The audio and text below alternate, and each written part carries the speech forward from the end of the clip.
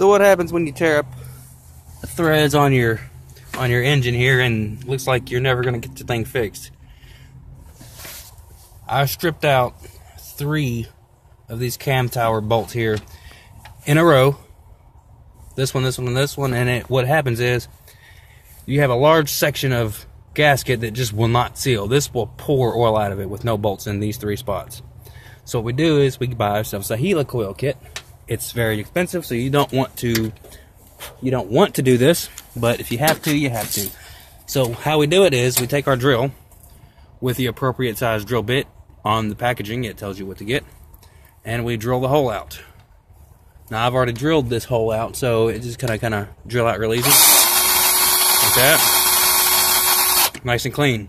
We drill the old threads out, get rid of all that junk. Then what we do is, part of our kit, we get this cutter here. It's going to cut us some new threads, which our helicoil is going to thread into. We'll get rid of some of that. And we'll run it in through this hole as straight as you can.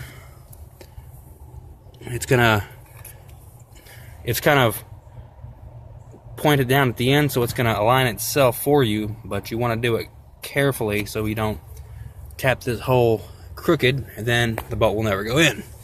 So, I'm to do this, get this started. Put our little T-handle on there. We just start turning it in. And turning in.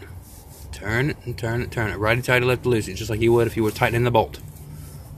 And once you get it started, I'm just kind of run it down. You can see it's cutting, pulling out metal, cutting into the head here. It's not as scary as it, as it seems. Spin it and spin it and spin it and spin it. It works better if you have two hands. Especially my my right hand. Doing it left-handed. Oh, let's switch hands. Oh, how about that? You want to run it all the way through as far as we can go. There is a minimum depth that you need to drill. It's described on the packaging or is it on the website, either way. In this case, this hole kind of this kind of goes right through, so it's a through hole. So we're just gonna, I'm just gonna run it all the way, all the way through, like so. And then once you get it all the way down, you've already cut your threads, and it starts to get really easy. And then once you do that, get it all the way down, just back it out, and then we'll get ready to put our helicoil in.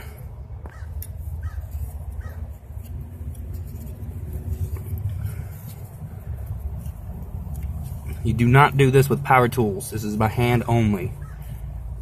Should go without saying, but somebody's going to try to do it with a drill, and it's going to cause some problems. Major problems. Major head work. Probably a new head. Don't do that. It's bad. Alright. So, we got us a nice pretty hole with, you can, I don't know if you can see that, but I thought my camera would kind of focus in for me. There it goes. It's got some nice pretty threads in there. If you had a bigger bolt, you could just kind of zip it on in there, but that's not what we're going to do. I'm to take one of our one of our helicoils. Set you down there if you wouldn't mind. And here's our new threads. Let's get a little tab on the end of it. So what we're going to do is we're going to put this on our tool. Like that. It fits down in the little slot. And then we just kind of put it in. Like that. And we thread that joker in there. I'm going to thread this all the way in.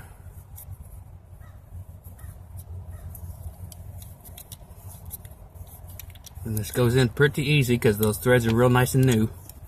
Nice and clean.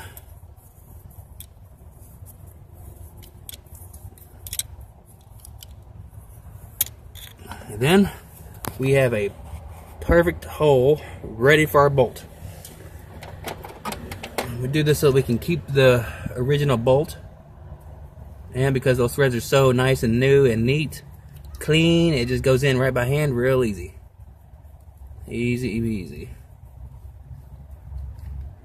And that's how we install a helicoil. coil. I'm going to do all because uh, I don't want any leaks. Now, it should not have to be said, but all this metal stuff is going to have to be cleaned. We're going to have to use a vacuum. We're going to have to clean all these metal shavings. That stuff gets down in the oil, man, you're going to have some serious problems. So, what I'm going to do is, I'm going to vacuum all this out with a little shop vac. All these metal shavings. Probably not good to rub your finger on them because it could hurt. And then, once I start the engine for the first time, I'm going to let it run for a few minutes and then I'm going to change the oil again.